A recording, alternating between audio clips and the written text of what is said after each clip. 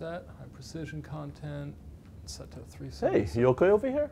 Hey, Core, how you doing? Good, good. What's going on? Ah, well, you know DM. Sure. Right? So DM traditionally has been distributed video over HDBaseT, right? Big circuit switched networks like that. Right. Now I'm looking at NVX, which is the same idea. It's the same video tr- uh, transportation, but over a one gig network. Okay.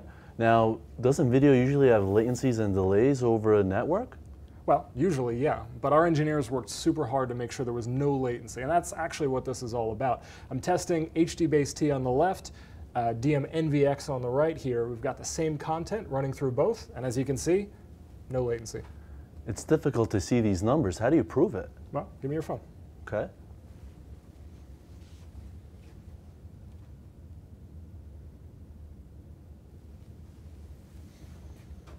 Wow. Yeah. Identical to the microsecond. Yeah, good enough? Check it out. NVX out. What are you doing? That's my phone.